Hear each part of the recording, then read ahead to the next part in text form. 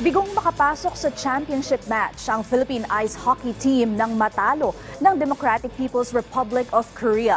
Nabigo ang Pilipinas sa International Ice Hockey Federation World Championship Division 3 Group B sa Bosnia at Herzegovina. Dalawang goal agad ang nakuha ng Korea pero nakahabol ang Pilipinas matapos na makapunto si Kenrick Z sa nalalabing 34 seconds sa first period.